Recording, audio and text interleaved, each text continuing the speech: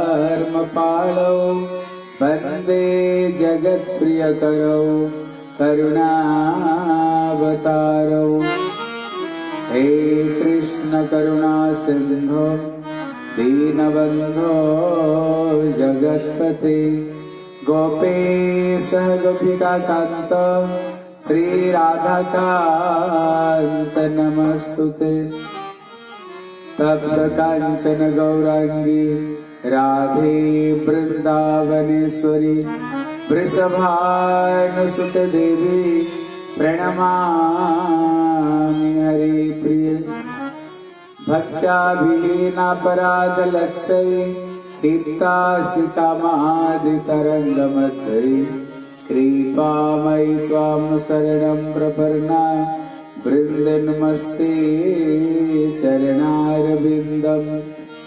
जय रूप सनातन भट्ट रघुनाथ श्रीजीव गोपाल भट्टदास रघुनाथ हे जय गोसाई तरी चरण बंदन जाहित विघ्ननाश अभीष्ट पुराण तमादिदेवं करुणानिधानं तमालवर्णं सुहृदावतारम् अपार संसार समुद्र सेतुं भजामहे भागवतं स्वरूपम् जगङ् प्रभजकमनुपेतमपेतकृतम् द्वैपायनविरह कातर आजुभाव। पुत्रेति तन्मयतया तर्वोधुनेतुं स्तम सर्वभूतहृदयं मुनिमाणतोस्मि नारायणं नमस्कृत्य नरं चैव नरोत्तमं। देवीं सरस्वतीं व्यासं ततो जयमुदिरे। श्रीकृष्ण चैतन्य प्रभु नित्यानंद श्री अद्वैत गदाधर श्रीवासादि गौर भक्त वृंद एक बार हाथ उठाकर सब बोलो। बोला हरे कृष्ण हरे Krishna Krishna Krishna Hare Hare. Hare Ram Hare Ram Ram Ram Hare Hare. Bola Krishna Hare Krishna. Krishna Krishna Hare Hare. Hare Ram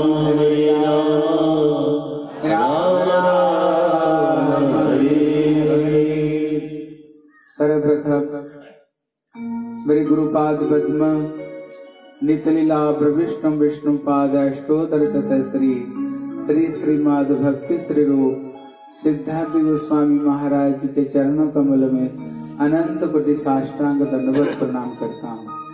तत्पश्चात मेरे शिक्षा गुरुपाद पद्म, नितलीला प्रविष्णु विष्णु पाद अष्टोतर शत श्री श्री श्रीमद भक्ति वेदांत श्रील नारायण गोस्वामी महाराज जी के चरणों सरज में श्रद्धा पुष्पांजलि अर्पण करता हूँ।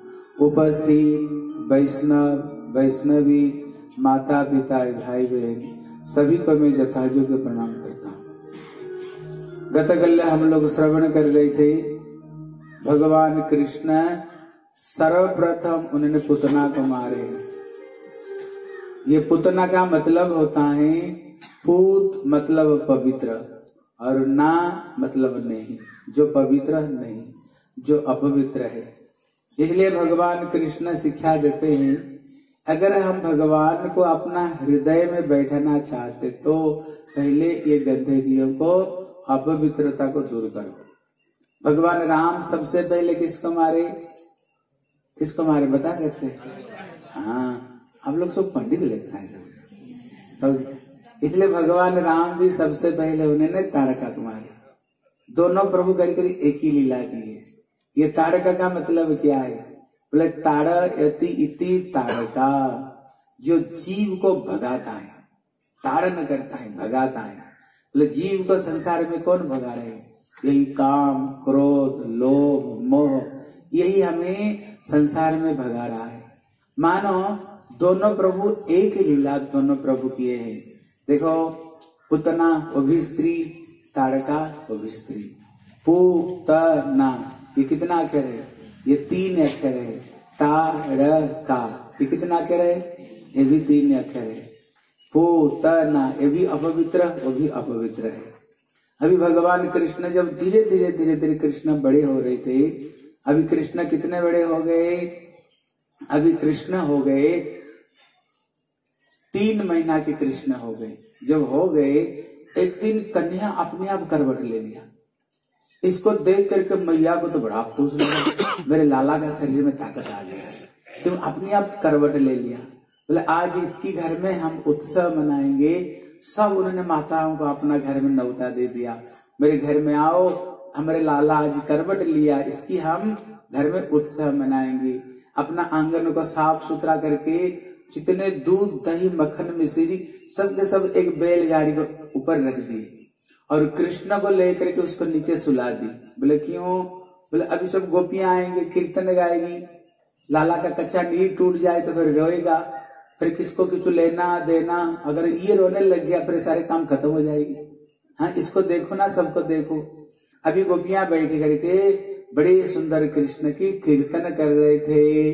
बोले, जियो श्याम लाला, जियो श्याम लाला दिल्ली तेरी पगड़ी लाला जियो श्याम लाला, जियो श्याम लाला तेरी तेरी कगड़ी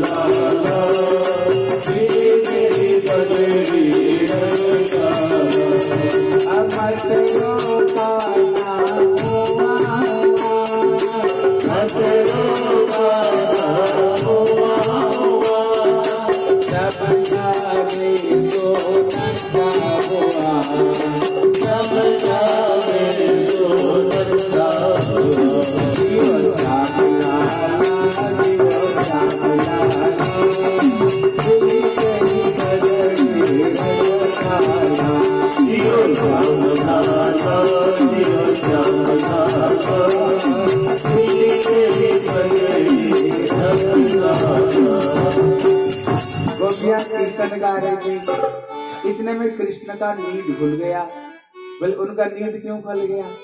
क्योंकि एक दिन नारद भगवान से पूछे, बोले, प्रभु, आप कहा रहते हो? भगवान खुद कहते हैं, बोले, ना अहम तिष्ठा वैकुंठे योगिनाम हृदय मत भक्ता जत्र गायन्ति, तत्र तिष्ठामि नारद। बोले नारद, दुनिया कहते हैं मैं रहता हूँ बैकुंठ में। मैं बैकुंठ में नहीं रहता हूँ। दुनिया कहते मैं रहता हूँ, जोगियों का हृदय वहाँ भी नहीं। बोले, फिर कहाँ रहते हो? बोले, एक जगह में मेरे को तुम पाओ। कहा? जहाँ पर मेरे भक्त जन बैठ करके मेरे कीर्तन करते अभी ब्रजवासी बैठ कर कीर्तन कर रहे थे, अभी भगवान कहाँ रह सकते हैं? भगवान की अभी नींद भूल गई। अभी ठाकुर जी चाहते मैं भी थोड़ा कीर्तन का आनंद लू। लेकिन कृष्ण अभी कितने कितने महीना के है कृष्ण? अभी केवल कृष्ण तीन महीना के। अभी घुटन पर भी प्रभु को चलना नहीं आता। कहते, बच्चों का बल क्या है? बोले, रोना। अगर बच्चे रोए तो मैया क्या करती है? जा करके बच्चे को उठा करके ले आती है। कृष्ण सोचा, अगर मैं थोड़ी सी ज़ोर ज़ोर से रो लू ना, मैया की कान में पड़ेगा तो मैया मेरे को उठा करके ले जाएगी कृष्ण रोना शुरू कर दिए, लेकिन वहाँ पर तो बड़े ज़ोर से कीर्तन हो रही थी। अभी मैया की कान में कीर्तन का आवाज़ ही नहीं पड़ी।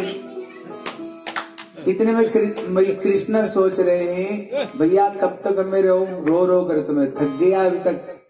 है, अभी तक मैया मेरे को उठा करके ले नहीं जा रही है। इतने में कृष्ण की जो इच्छा शक्ति, जोग माया ने, उन्होंने प्रेरणा कर दिया महाराज कंस को। इतने में कंस एक राक्षस को भेजा, जिसका नाम था सकटासुर। ये पूर्व जन्म में ये हिरण्याक्ष का बेटा, इसका नाम था उत्कच एक दिन एक ऋषि के आश्रम में प्रवेश किया। प्रवेश करके उनका जितने पेड़ पौधा उसने तस नस कर दी, संत बिगड़ करके अभिशाप दिए। बोले, भगवान, इसलिए तेरे को इतने मोटे छोटे बनाए, संतों की ठाकुर की बाग को उगाड़ने के लिए। जाओ, हम तुमको अभिशाप देते हैं। जिस शरीर का प्रति तुम्हारी इतने अभिमान है, तुम्हारी ये शरीर ही नहीं रहेगा, ये शरीर तुम्हारी गायब हो जाए। इतना बोलते ही उसका शरीर तो धीरे धीरे धीरे गायब होने लग गया। फिर तो सारी नशा उतर करके आ गई। फिर संतों का चरण में गिर पड़े। संत बड़े दयालु होते हैं। बोले, मेरी मुक्ति कैसे मिलेगी? बोले, भगवान कृष्ण जो गोकुल में बाल गोपाल बन करके आएँगे। उनकी चरण की स्पर्श से तुमको मुक्ति मिलेगी। वही उत्कच जो सकटासुर बना था, वही कंस उसको प्रेरणा कर दी, बोले, जाओ, मेरे शत्रु को जा करके मार करके आओ। अभी आ गया सकटासुर देखा कृष्ण कहाँ पर? देखा वो बैलगाड़ी को नीचे कृष्ण लेटे हुए। उसका तो शरीर थी नहीं, वो गाड़ी को ऊपर उसने सवार हो गया। बोले, धीरे धीरे, दबाते दबाते, बास, ऐसे दबा दो, कृष्ण नीचे पीस जाएँगे। कृष्ण ऊपर में देखा, मामा जी आए कंस मामा लगते हैं और उनका सारे संबंधी मामा लगते हैं। बोले, मामा तो कुछ ना कुछ करेंगी। जब दबा रहे थे कृष्ण, अपना कृष्ण अपना जो कोमल चरण को उनने धीरे धीरे धीरे धीरे हिलाया और हिलाते हिलाते ऐसे मारे। जो बैलगाड़ी थी ना, इतने में वो बैलगाड़ी धड़ाम जितने दूध, दही, मक्खन रखा हुआ था, सबके सब सत्यानाश, तसनस हो गई। गोपियाँ वहाँ पर कीर्तन कर रही थी। बोले, आंधी तूफ़ान कुछ है ही नहीं, पलटी तो पलटी कैसे फिर मैया भागते भागते आई, आ करके कृष्ण को फिर गोद में उठा ली। लेकिन इस सखाओं ने देखा था, कृष्ण का चरण की स्पर्श से ये गाड़ी पलट गई। सखाओं ने कहा, मैया मैया, हम बताएँगे कैसे पलटी गई, बोले, कैसे? बोले, कृष्ण की चरण की ठोकर से। बोले, मेरे लाला, अभी तीन महीना का और तीन महीना बच्चा की पैर में ठोकर लग जाए और ये गाली पड़, गाली गाड़ी पलट जाएगी कैसे? लेकिन मैया को ये बात विश्वास नहीं हुई। हैं? फिर मैया कन्हैया को वहाँ से लेकर के जो भजन गा रहे थे ना, कीर्तन गा रही थी, उनको बीच में लेटा दी। फिर गोपियों ने बड़े सुंदर कीर्तन किया। कृष्ण खुश हो गए। बोले, मैं तो ये पहले ही चाह रहा था। मेरे कीर्तन और मेरे उत्सव और मेरे को कहा आपने अलग रख दिया था। हाँ देखो, यहाँ पर हमारे टीकाकार लोग बहुत अच्छी बात समझाते हैं। प्रभु ने ये लीला क्यों की? कहते, हो रहे थे उत्सव, लेकिन उन्होंने क्या किया? ये उत्सव से भगवान को यहाँ से अलग हटा दिया। कहा रख दिया? बोले, बैलगाड़ी को नीचे, और जितने घर का सामान थी ना, वो रख दिया बैलगाड़ी के ऊपर में। मतलब भगवान को तो कर दिया नीचा। और अपना पारिवारिक जो वस्तु है, सांसारिक वस्तु कर दिया ऊँचा इसलिए भगवान ने क्या किया? उन्होंने ऐसे ठोकर मारे, सारे दूध दही को उन्होंने सत्यानाश कर दी देखो, यहाँ शिक्षा देते हैं, घर में कोई भी उत्सव हो, हम भी यही करते हैं। सारा दुनिया को बुलाएँगे। उनके लिए खाना बनाएँगे, उनको खिलाएँगे उल्टा पुल्टा है, डिस्को डांस के ऊपर नाचेंगे। लेकिन जिसने हमें ये सब कुछ दिया, जिसी का दुनिया, उसके लिए कुछ नहीं। उनके लिए कोई खाना नहीं बनाएँगे। दिन में स्वयं दो बार, तीन बार ड्रेस को बदलाएँगे। और भगवान कृष्ण राम, वो बैठे हुए पंद्रह दिन से एक ड्रेस पहन करके ठाकुर बैठे हुए। उनको कपड़ा नहीं बदला रहे हैं। अपना लिए, अपना बच्चों के लिए और जिसने तुम्हें दिया सब कुछ, उसके लिए कुछ नहीं करते। उनके लिए भोग नहीं बनाएँगे, उनके लिए खाना नहीं बनाएँगे। खुद दुनिया को बुला करके हम क्या करेंगे? उनके लिए सारे कुछ करते हैं। इसलिए भगवान कहते भैया, अगर ऐसे करोगे ना, फिर मैं ऐसे ठोकर मारूँगा, सब सत्यानाश कर दूँगा। इसलिए जो कुछ करो, मेरे को ले करके करो। जैसे अपना लिए कपड़ा लाते हो, बच्चों के लिए कपड़ा लाते हो, पहले क्या करो? पहले भगवान के लिए लाओ। घर में गोपाल होगा, लड्डू गोपाल होगा, भगवान आएँगे। पहले अपना चिंता मत करो। पहले किसका चिंता करो? ठाकुर को चिंता करो। द्रौपदी भगवान को क्या दिया बताओ? जब भगवान की अंगुल कट गया, द्रौपदी ने थोड़ी सी साड़ी को फाड़ करके बैंडेज कर दी। कृष्ण इतने रीझ गए, इतने रीझ गए कृष्ण। वो सोच रहे थे, कब मुझे मौका मिले इसकी रेणी को मैं उतारूं।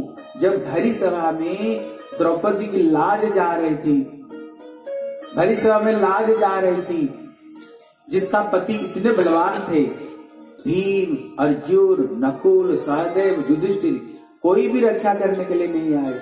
रक्षा किसने की? ठाकुर ने की। रक्षा किसने की? भगवान की है। हम भी ऐसे बड़े डीग आंकते हैं। अरे, हमारा धन है, हमारे पुत्र है, हमारा परिवार। देखना, विपत्ति जब आएगा ना, सब पीछे से हट जाएँगे। कोई साथ देने वाले नहीं। साथ कौन देगा? वो अकेला ही ठाकुर जी हमारी, वो साथ देने वाले। इसलिए क्या करो, सबसे पहले भगवान के लिए कपड़ा पहनाओ, हैं? ठाकुर जी के लिए कपड़ा लाओ। पहले खाना किसको करो? अगर बढ़िया बढ़िया खाना बना तो क्या करो पहले? ठाकुर जी को सबसे पहले भगवान के लिए निकालो। उनको पहले तुलसी पता से ठाकुर जी को भोग लगाओ हैं? फिर तो सब कुछ बढ़िया होगा। इसलिए भगवान शिक्षा देते हैं हमें यहाँ से अलग मत करो। मेरे को लेकर के साथ में चलो। फिर तो तुम्हारी सब कुछ बढ़िया होती रहेगी। ठीक है? बोले श्री वृंदावन बिहारी लाल की जय जय अभी कृष्ण और थोड़ी सी कृष्ण बड़े हुए। जब कृष्ण एक दिन जब भगवान बड़े हुए मैया जसोदा कृष्ण को हाथ में लेकर के जैसे माताएँ करती है ना बच्चों को ऐसे उछालती है ऐसे हाथ में उछालती है। ऐसे मैया जसोदा भगवान कृष्ण को ऐसे हाथ में उछाल रही थी। इतने में कृष्ण सोच रहे थे ये क्या मैया थोड़ी सी मेरे को उछाल रही है? अरे मैं चाहता हूँ थोड़ी सी और आकाश में थोड़ा उड़ करके जाऊँ, क्योंकि कुछ दिन बाद में मक्खन चोरी करूँगा। अभी किधर गली कहाँ थोड़ा देखना चाहिए ना? हैं? फिर किधर किधर से थोड़ी सी ऊपर तो और उड़ू। अभी कृष्ण की इच्छा जान करके जोग माया कंस को प्रेरणा की, और कंस ने त्रिनावर्त को भेज दिया। बोले, जाओ, मेरे शत्रु को मार करके आओ। और ये त्रिनावर्त तो आंधी तूफ़ान बन करके आ गया।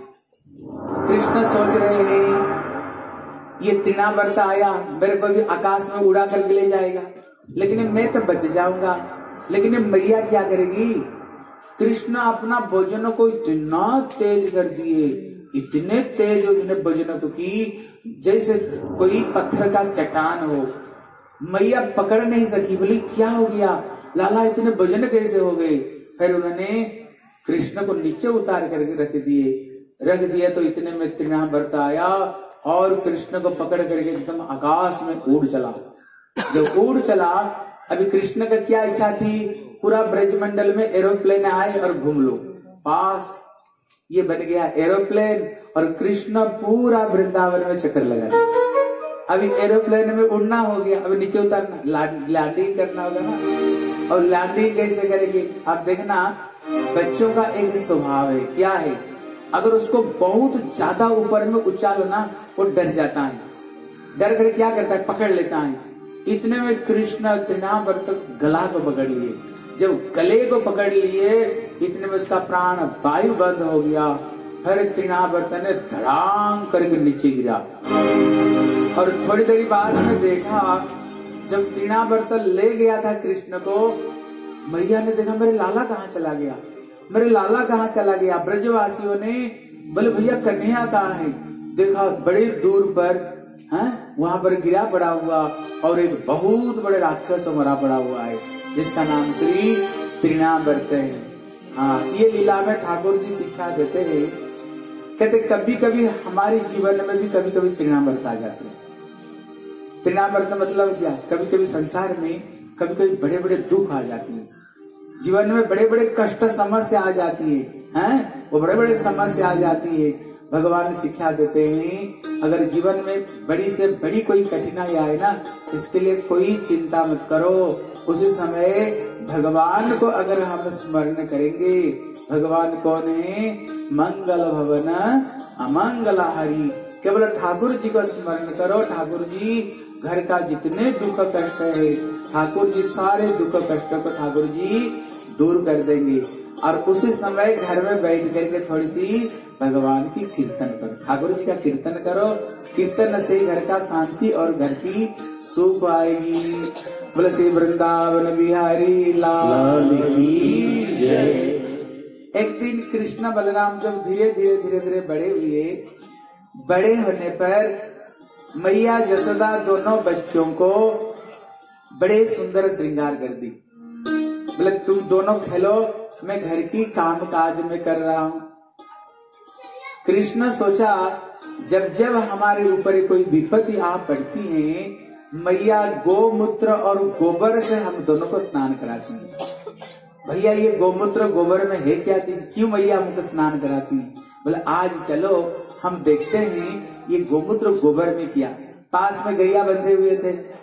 कृष्ण बलराम गए और वहाँ पर जितने गोमूत्र और गोबर था ना, जितना कीचड़ था, सब के सब उन्होंने सारा शरीर में पोत दिया। और पोत करके दोनों बैठे हुए। इतने में मैया ने देखा, ये दोनों बालक गए कहा? मैया ने पुकारे, बोले कनुआ बलुआ, तुम दोनों कहा हो? बोले, मैया, हम यहाँ हैं। बोले, वहाँ क्या कर रहे हो? मैया ने देखा, पूरा सारा शरीर में कीचड़ कीचड़ से एकदम सने हुए। मैया को तो बड़ा क्रोध आया। बोले, अभी अभी तुम दोनों बच्चों को हम इतने सुंदर स्नान किया, श्रृंगार किया और मिनट में सब बिगाड़ दिया। दोनों को कान मैया पकड़ ली? बोले, क्यों रे? क्या तुम दोनों पूर्व जन्म में सुअर थे? क्योंकि ये लोट बोट कौन खाता है कीचड़ में? सुअर खाते हैं ना लोट बोट? क्या तुम दोनों पूर्व जन्म में सुअर थे? ये सुअर ऐसे करते हैं। कृष्ण तो सर को तो ऐसे ऐसे कर रहे थे। बोले, भैया, मैंने तो सत्य युग में पहले में सुअर था। लेकिन तुम्हें कैसे पता चला सुअर था? सुअर कब थे? भगवान सत्य युग में जब ये सृष्टि को प्रारंभ करने जा रहे थे, मनु महाराज, उसी समय में ये रसातल चली गई थी अंदर में। तब ब्रह्मा जी छींके तो उनको नासिका से एक मच्छर जैसे प्राणी सृष्टि हुई। और धीरे धीरे धीरे धीरे देखते देखते विशाल रूप धारण किया। वो कौन है? कहती भगवान बराह देव है। भगवान बराह। बराह कैसे रूप है? सूर का रूप है। बोले, श्री बराह भगवान की बोले भैया मैंने पूर्व जन्म में तो हम सुअर थे, लेकिन तुम्हें कैसे पता चला हम सुअर थे? फिर भैया ने दोनों बालकों को ला करके स्नान कराया। फिर उनको सुंदर श्रृंगार कर दी। हाँ यहाँ पर भगवान शिक्षा देते हैं कि जो गोमूत्र और जो गोबर है ना, ये साधारण वस्तु नहीं। इसलिए पहले पहले लोग क्या करते थे? घर को कैसे पोतते थे? गोबर और गोमूत्र से। कई बड़े के बम एक्सीडेंट हुई एक्सीडेंट हुई तो गाँव के सब लोग मर गए। लेकिन एक परिवार कुछ नहीं हुआ। साइंटिस्टों ने देखा, भैया, एक परिवार ज़िंदा कैसे रह गई? सबके सब तो मर गए। आ करके देखा, उसको घर में गैया वो पाल रहे थे। और घर का चारी तरफ़ में गोबर पड़ा हुआ है। वो पूरा घर गोबर में पोता हुआ था चारी तरफ़ में गोबर था। इसलिए वहाँ पर कुछ नहीं हुआ। वहाँ पर कुछ नहीं हुआ घर बचा हुआ है। इसलिए अभी साइंटिस्ट लोगों ने रिसर्च करके अभी ये गोबर और गोमूत्र से इतने तरह का मेडिसिन निकालते हैं। लेकिन पहले हर घर घर में यही होती थी।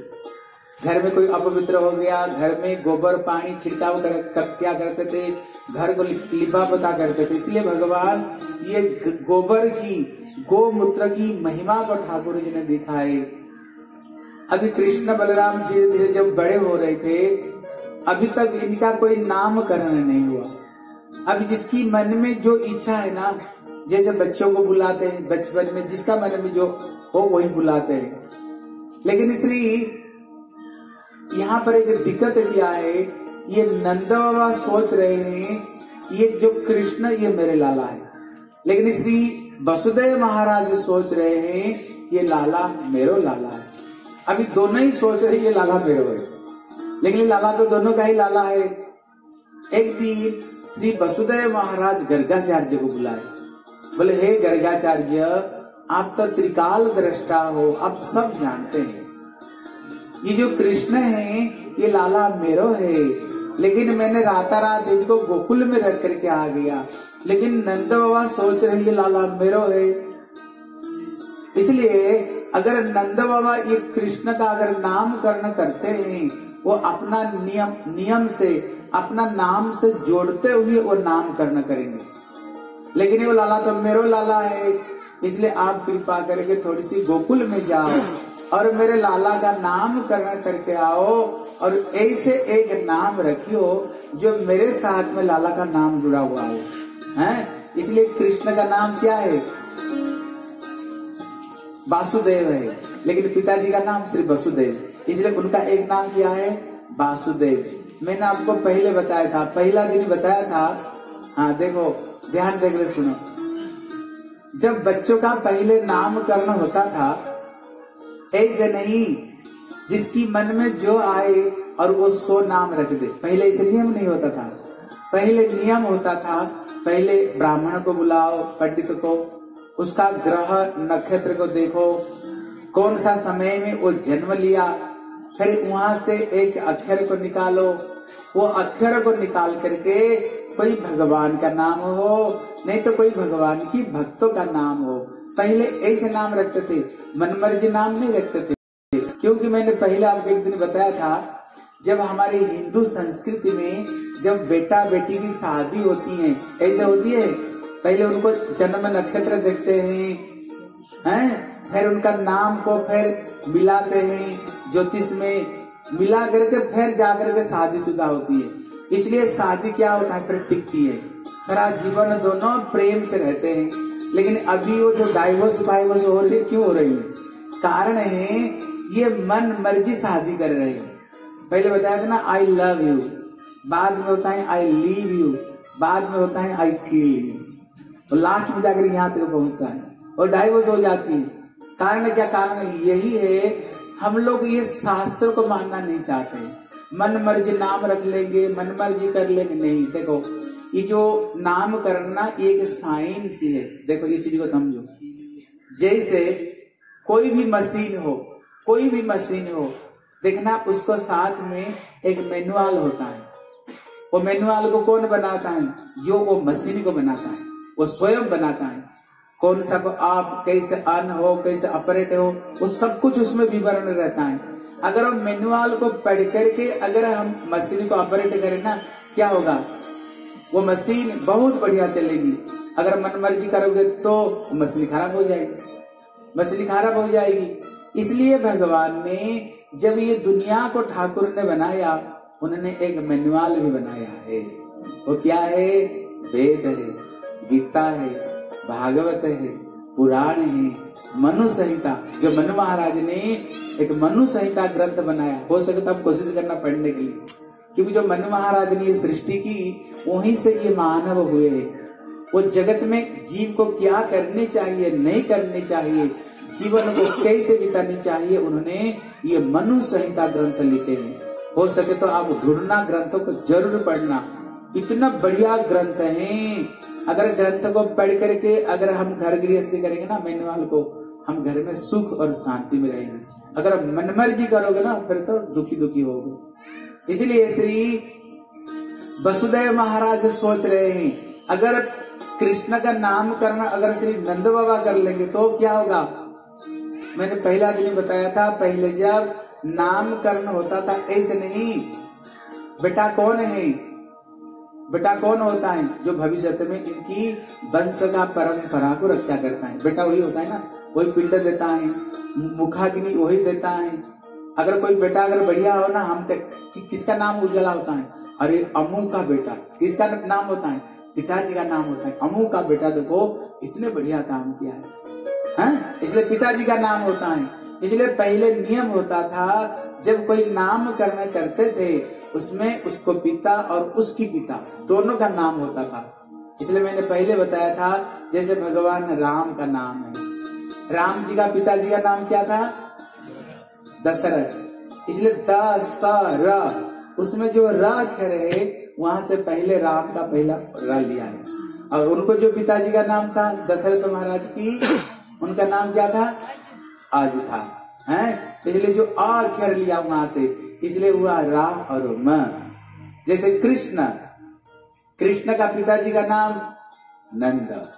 स्न में जो न है, वो न अक्षर वहाँ से लिया। है? और क्री, है? क्री में जो री मात्रा मात्रा, उनको पिताजी का नाम था परजन्य वहाँ से र शब्द लिया। इसलिए पहले जब नाम रखते थे, ऐसे विचार करके पिताजी पिताजी का नाम को लेकर के फिर नामकरण होता था। इसलिए श्री वसुदेव महाराज, उन्होंने गर्गाचार्य को बोले, आप थोड़ी सी गोकुल में जाओ और मेरे बच्चों का नामकरण करके आओ। और वसुदेव महाराज इतने श्री गर्गाचार्य इतने प्रसन्न हुए। अहो भाग्य है आज भगवान का नामकरण करवाएँगे। जब नामकरण करेंगे, क्या होगा? वो लाला को गोद में लेंगे। लाला छोटो से है। कितने कोमल कोमल, उनका नन्हे नन्हे प्यार है। कितने छोटी छोटी हाथ है। देखना, बच्चे को जब गोद में लो ना, कितना नरम होता है। बस श्री गर्गाचार्य सोच रहे हैं, जिनकी चरणों को पाने के लिए वायु रथापि मन पुंगवानाम। जिनको पाने के लिए बड़े बड़े ऋषि, मुनि, तपस्वी, कितने कठोर तपस्या करते हैं, वो भगवान को प्राप्त नहीं कर पाते। आज क्या होगा? वो भगवान को मैं गोद में लूँगा। वो ठाकुर जी को हम गोद में लेंगे। ठाकुर जी के नन्हे नन्हे चरण हमारे ऊपर पड़ेगा। नन्हे नन्हे हाथ को लेकर कितने प्यारा। इसलिए वो बड़े प्रसन्न हो रहे थे। जब श्री नंद बाबा का घर में आए, नंद बाबा इतने खुश हो गए। इतने प्रसन्न हो गए। बोले, महत विचलनाम, नृणाम गृणाम दीन चेतसा निस्ससाय भगवत, अन्यथा कल्पते क्वचित श्री नंद बाबा कहते हैं, बोले, भैया, संत गृहस्थी घर में क्यों आते हैं? कहते, महत लोग क्यों आते हैं? बोले, हमारी कल्याण करने के लिए गृहस्थियों का कल्याण करने के लिए, क्योंकि क्या कल्याण करने के लिए आते हैं? हम तो उल्टा उनको भिक्षा देते हैं, भोजन देते हैं, वो क्या कल्याण करने के लिए आते हैं? कहते नहीं, वो के बहुत बड़ा काम करने आते हैं। बोले, कौन सा काम है?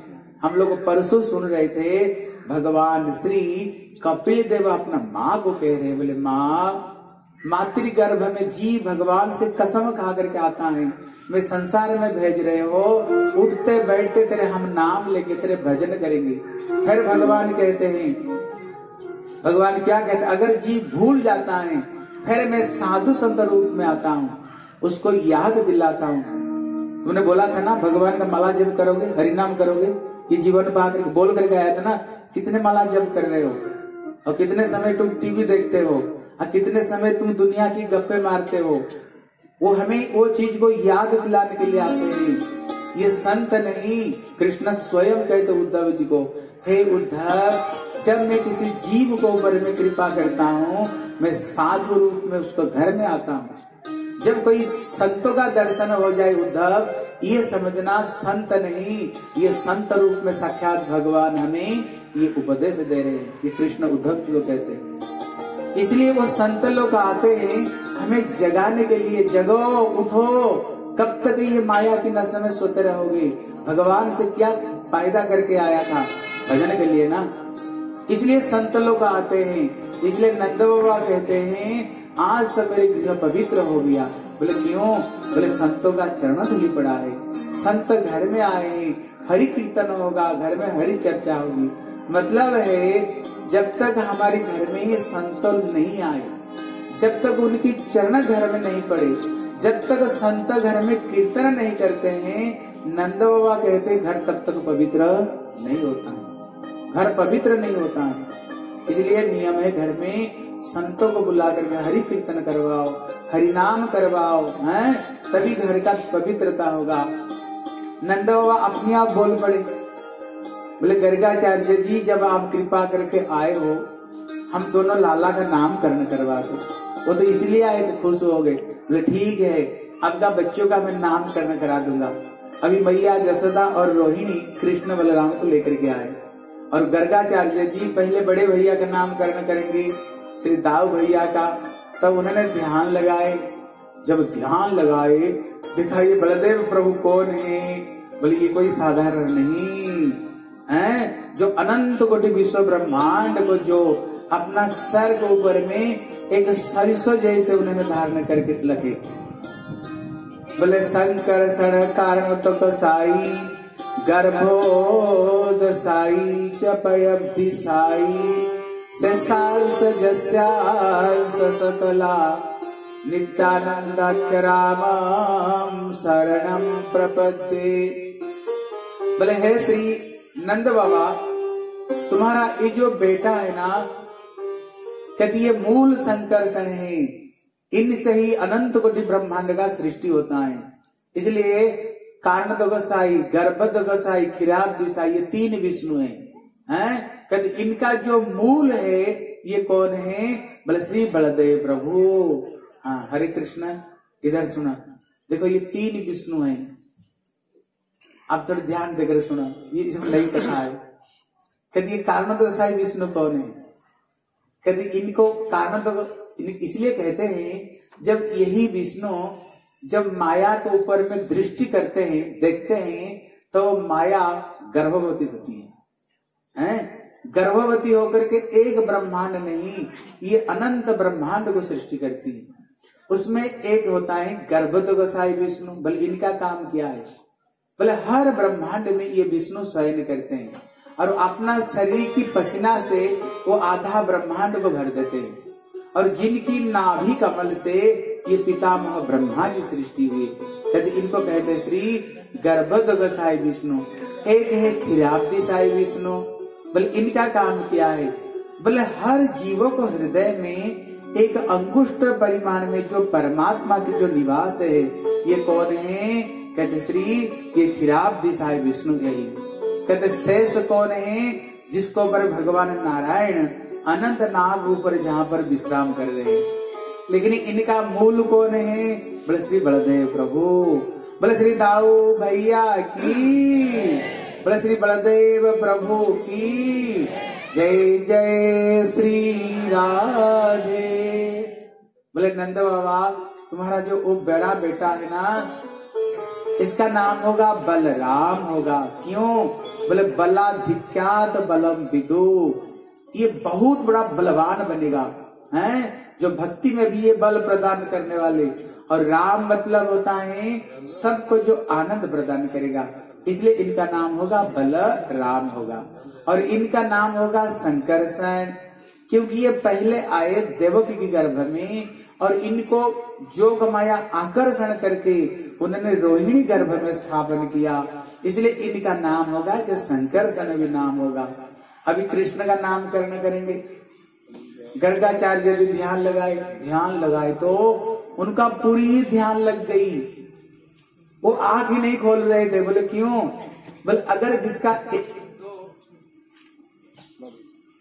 हरि बोल जिसका एक, दो, तीन, चार नाम हो ना, तभी तो कोई एक नाम रख दो। उन्होंने देखा, जगत में जितने सारे नाम है ना, सबके सब इन्हीं का ही नाम है। सबके सब इन्हीं का ही नाम है, हैं? एक भजन गाता हूँ, आप पीछे पीछे सुनो। भगवान का कितना नाम है। बोले, जय राधा माधव, जय कुंज बिहारी जय राधा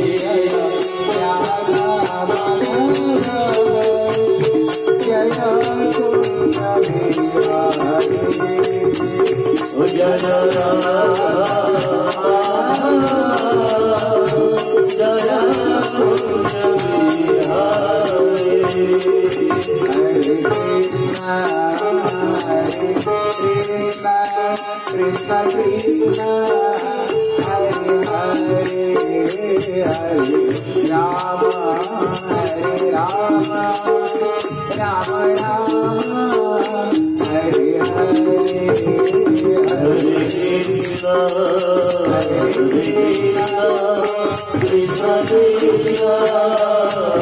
Hare Hare Rama.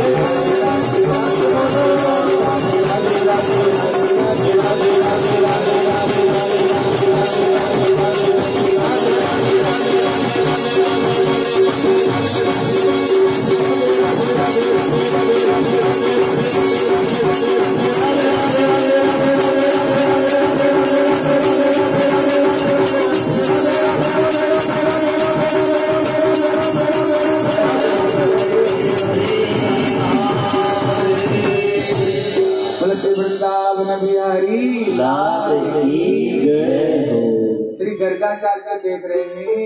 जगत में जितने नाम सब यही का नाम अभी कौन सा नाम इनको दू? नंद बाबा तो व्याकुल हो रहे थे, लाला का नाम क्या होएगा? उन्होंने गर्गाचार्य पकड़ करके उन्हें हिलाए अरे ज्योतिष जी, बताओ तो लाला का नाम क्या होएगा? बोले, आसन वर्णास्त्रय जस्य अनुजुगम तनु। शुक्ल रक्तस्तथा पीत इदानी कृष्णतामगत। बोले, बाबा, तुम्हारा ये जो लाला है ना, ये साधारण नहीं, ये जुग जुग में अवतीर्ण होते हैं। तुम्हारे लाला सत्य युग में उनने शुक्ल वर्ण धारण करके आया था।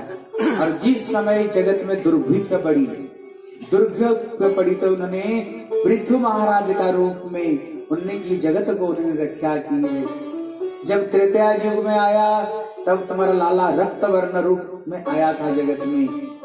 और जब कलिजुग आएगा, वो पीत वर्ण गौरव वर्ण बन करके श्री चैतन्य महाप्रभु का रूप में आएँगे। और इतानी अभी तुम्हारे लाला, ये कृष्ण बन करके आया है। हर युग युग में ये लाला तुम्हारी प्रकट होता है। इसलिए कृष्ण कहते हैं ना, जदा जदा ही धर्मस्य ग्लानिर्भवति भारत। अद्भुतान धर्मस्य तदात्मान सृजामि हम ये भगवान जुग जुग में अवतीर्ण होकर के, ये संतों को पालना करते हैं और दुष्टों को संहार करते हैं। और तुम्हारी जो लाला है ना, इसकी इतने नाम हैं, इतने रूप है, इतने गुण हैं। कहते हैं ना, हरि अनंत, हरि कथा अनंत जिसका कोई अंत नहीं। वो बड़ी बड़ी बात कर रहे थे, लेकिन वहाँ पर मैया जसोदा बैठी हुई थी। वो तो बड़ी परेशानी हो रही थी। बोले, क्यों परेशानी हो रही थी? बोले, ये ज्योतिष कोई काम की बात नहीं बता रहे अरे, सत्य युग में इसे तृतीया अरे, इसमें हमारा क्या मतलब है? हमारी काम की बात बताओ। हाँ ध्यान देकर सुनो। माताओं का काम क्या बात है? हर माता ही ये सोचती है, लाला जल्दी से जल्दी बड़ा हो जाए और उसको विवाह हो जाए। और घर में बहू आ जाए। बोले, क्यों? बोले, जब तक घर में बहू नहीं आती है ना, माताओं का सारे काम संभालना पड़ता है। और जब घर में बहू आ जाए, क्या होता है? फिर बहू को सारे काम सौंप देते हैं, फिर बहू सारे काम को देख लेती है, फिर माताओं को विश्राम मिलती है।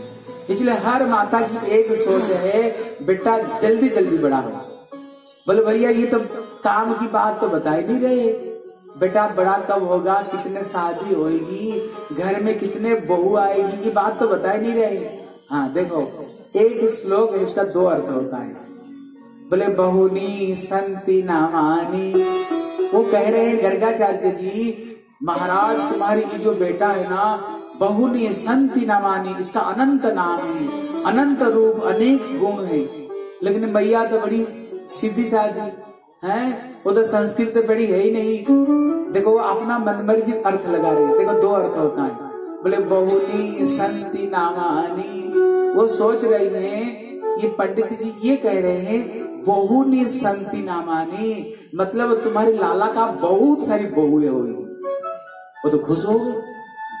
क्योंकि पहले अब सुने होंगे, जो राजा जितने शादी करता था ना, उसका उतना नाम आपको पता होगा, एक पत्नी को पालना करना कितना कठिन है। जो पालना करते होंगे, उनको पता होगा, एक पत्नी को पालना करना कितने कठिन। लेकिन पहले पहले, जिसको घर में जितने रानियाँ हो, बोलते, बाबा रे, राजा का इतने रानी, राजा की इतने रानियाँ घर में। इसलिए कृष्ण जब शादी किए, द्वारका में कितना रानियाँ थी? सोलह हज़ार एक सौ आठ पटना इतने रानी को साथ में शादी की। और जब कृष्ण गोकुल में गए, वृंदावन में, एक तो राधा रानी है ही है। फिर ललिता, विशाखा, चंपकलता तुंग विद्या चित्रा, सुचित्रा रंग देवी सुदेवी, और जो प्रभु रास करते हैं, कितने गोपियों के साथ में? सोलह। एक करोड़ गोपियों को साथ में प्रभु रास की। मैया तो खुश हो गई। घर में जितने बहू आएगी, सास का तो इतना सेवा होगी ना। अच्छी बात है, बहू आनी चाहिए घर में। हैं? घर में बहू आनी चाहिए। मैं तो खुश हो गई। बोले, नामानी, बहुओं का नाम भी अलग अलग होगी इनकी रूप भी अलग अलग होगी कोई गोरी होगी कोई काली होगी कोई सावरना वर्ण की होगी बोले, कोई बात नहीं, घर में बहू आनी चाहिए। मैया तो खुश हो गई बोले, ज्योति से भी काम की बात बताए और उन्होंने बड़ा सुंदर उनको दक्षिणा दिया। है? उनको ब्राह्मण को नियम है, जब घर में ब्राह्मण आए, संत आए दक्षिणा के बगैर है ना कभी काम पूरी नहीं होती उनको दक्षिणा से ही उनको खुश कर सकते हो। उनने बढ़िया दक्षिणा दी। और लाला को उनको चरण में लेटा दी। बोले, लाला को आशीर्वाद दो। गर्गाचार्य बोले, भैया, कहाँ आ गए? उनको तो पता है ना, कृष्ण भगवान, लेकिन उनको चरण में लेटा दी। लेकिन उन्होंने ऊपर ऊपर से थोड़ा आशीर्वाद दी और बड़ी खुश होकर गर्गाचार्य चले गए। जब चले गए, अभी उनको जितने ब्रज की बड़े बुढ़िया थी, वो प्रश्न करती है, बोले, लाला का नाम ज्योतिष ने क्या रखा है? बोले, बड़ा बेटा का नाम रखा था बलराम और छोटा बेटा का नाम रखा कृष्ण। बोले, नाम तो बहुत अच्छा है, बलराम और कृष्ण। लेकिन ये कृष्ण नाम ऐसे टेढ़ा है ना, है? जैसे कृष्ण जब खड़े होते हैं ना, देखो कृष्ण का रूप कैसे, वो तीन जगह से टेढ़े हैं, गले से, कमरे से और प्यार से। कहते इनकी भक्ति भी बड़ी टेढ़ी है। कहते इनका नाम जैसे टेढ़ा भी वैसे टेढ़े ये नाम बड़ा टेढ़ा नाम, और इसका नाम देखो कृष्ण। जब तक ये जीवा तीन बार पलटती नहीं, तब तक ये कृष्ण नाम ही नहीं निकलती। बोले, कोई बात नहीं, ये जन्म पत्रिका नाम तो ये रहेगी, लेकिन हम जो घर में इसको बुलाएँगे, बड़ा बेटा का नाम बुलाएँगे बलुआ, और छोटा बेटा का नाम बोले कन्नुआ कन्नुआ और बलुआ ये दो नाम से हम बुलाए करेंगे। बोले श्री कन्नुआ बलुआ की जय जय श्री श्री राम एक दिन भगवान कृष्ण खेलते खेलते ब्रह्मांड घाट पर पहुँचे। बोले भैया ब्रज में जो आए ना सबके सब एक चीज़ प्रार्थना करते हैं राधे तेरी चरण की ब्रज धूल जो मिल जाए। जो आए, एक ही चीज़ प्रार्थना करते, ब्रज की रज। इसलिए श्री रसखान कर- कहते हैं, रमण रेती लेट नहीं, कियो ना जमुना पान। ब्रज में आकर के दो काम करना पड़ेगा। बोले, क्या काम है? पहला काम है, रमण रेती में लेटना चाहिए। वहाँ का धूल में लोट पोट खानी चाहिए। और दूसरी बात क्या करनी चाहिए, बोले, यमुना में स्नान और आचमन लेनी चाहिए। जब तक ये दो काम नहीं करते हैं, तब तक ब्रज दर्शन पूरी जीवन धन्य नहीं बनता है। हैं? इसलिए ब्रज में जो आए सबके सब यही चीज़ मांगे। एक दिन कृष्ण सखाओं के साथ में खेलते खेलते ब्रह्मांड घाट पर पहुँचे और इतने में कृष्ण मिट्टी खाना शुरू की सखा ने कहा कन्या मिट्टी मत खाया कर, पेट खराब हो जाएगा तुम्हारी। लेकिन कन्या मान ही नहीं रहे थे, मिट्टी मिट्टी खाते जा रहे थे। सखाओ ने जाकर के मैया से चुगली कर दी। बोले, मैया कन्हैया मिट्टी खा रहा है, किसका बात नहीं सुन रहा है? मैया को तो बड़ा क्रोध आ गया। बोले, अभी तक मक्खन चोरी चोरी करे खा रहा था, अभी मिट्टी खाना शुरू कर दिया, मैया तो एक लठिया लेकर खा गई। और कहा सीधा कृष्ण का कान को पकड़। ले कृष्ण की कान पकड़े। बोले, अपवित्र, देखो, कृष्ण कौन है? कृष्ण कौन है जो अनंत कोटि विश्व ब्रह्मांड का मालिक बोले, जिनका नाम लेने पर कहते ना नमो अपवित्र पवित्र वा सर्वावस्थाम गतो पिवा जह स्मरेत पुंडरीकाख्यम सब बाह्याभ्यंतर सूची मतलब जिनका नाम लेने पर जीव बाहर और भीतर से पवित्र हो जाता है, भैया क्या कहती है? तू अपवित्र। विश्व ब्रह्मांड का कान पकड़ करके ये भगवान अपना माया से नचा रहे हैं। लेकिन आज मैया क्या कर रही है? वो भगवान का कान पकड़ कर रखे बोले, बता, तुमने मिट्टी खाई? कृष्ण तो एकदम सफ़ेद झूठ बोल दिए। बोले, ना अहम भक्सी सर्वे मिथ्या बोले, भैया, मैंने मिट्टी नहीं खाई। बोले सखा लोग उसको बोल रहे ये सब गवाह बोले, भैया, आज कहा भयो? तेरे को पता है। बोले, कहा भयो? बोले, सखा लोग अपना अपना घर से लड्डू, कचौड़ी हाँ? मालपुआ मिठाई चोरी चोरी करके लाते। और मेरे को कहते, तू खा। मैया, तेरे को पतो है, मैं कभी चोरी का चीज़ खाता नहीं। मैया बोले, मेरे को अच्छे तरह से बता, तू क्या करता, नहीं करता? क्योंकि हर माता अपना बच्चे का करतूत जानती है। बोले, मेरे को पता है कि तू क्या करता, नहीं करता। बोले, मैया, ये सखा लोग ज़ोर ज़बरदस्ती किया, तू खा। मैंने खाया नहीं। इन्होंने देखा, मैं तो खाया नहीं। हमारे घर में ही जाकर चुगली करते माताओं को। और मैं चुगली करने से पहले मेरे नाम पर ये चुगली कर दी और तू बड़ी भोली वाली इनकी बात में जल्दी आ जाती है। लेकिन भैया को तो पता है इतने में कृष्ण ने कहा, भैया, अगर हमने मिट्टी खाई तो मुँह से तो खाई ना? बोले हाँ। बोले तो मेरे मुँह को खोल कर देख ले। कृष्ण ये सोच रहे थे, अगर माँ को ये बात बताओ ना, माँ मान जाएगी लेकिन माँ तो पता है, कृष्ण बड़े नटखट है। मैया तो धमकी लगाई बोले, मुँह खोल, मैं देखना चाहता हूँ। जब उन्होंने धमकी लगाई, इतने में कृष्ण का मुँह झट खुल गया। जब खुल गया, कृष्ण की एक जोग माया, देखो ये चीज़ को थोड़ा अच्छे तरह से समझो। कृष्ण की एक जोग माया होती है, जो प्रभु की सारे लीलाओं को संपन्न करती है। उसने देखा, अभी कृष्ण के मुँह में मिट्टी है। एक हाथ में कान पकड़ी और एक हाथ में डंडा है। बोले, अगर मैया मुँह में मिट्टी देख लिया तो उसका एक डंडा नीचे नहीं, सो पीठ ऊपर पड़ेगा। अगर मैं रहती समय, अगर मेरे प्रभु अगर पीट गए, फिर मेरी नाम पर बट्टा पड़ जाएगी, मेरे नाम पर दोष आ जाएगी। जोग माया रहते रहते मेरे प्रभु पीट गई कैसे कैसे इतने में जोग माया ने एक छोटी सी मुँह में अनंत कोटि ब्रह्मांड को दिखा दिया। कितने ग्रह, कितने सूर्य, कितने नक्षत्र, कितने ब्रह्मा, कितने ऋषि कितने मैया जसोदा खुद को खुद उसको मुँह के अंदर में देख रही थी। मैया, देखा, भैया, ये क्या लाई बलाई में देख रही हूँ? मेरे लाला के ऊपर कोई भूत का सवार तो नहीं हो गया?